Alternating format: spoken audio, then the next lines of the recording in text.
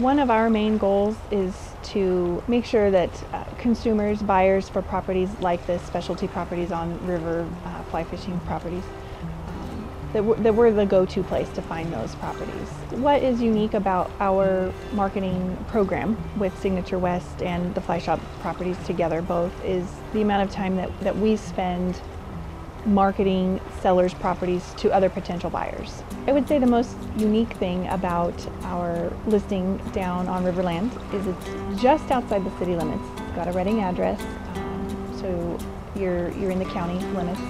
But it's one of, that I know of, the only privately owned pieces of property that has its own boat ramp.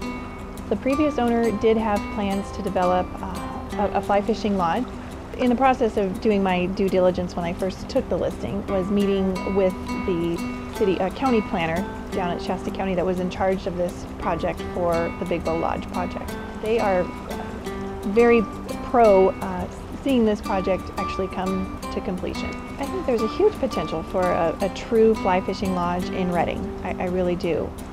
That's key. I think whoever acquires the property and should they choose to move forward with a similar business plan, definitely partnering up with the fly shop who knows fly fishing, you know, better than they do.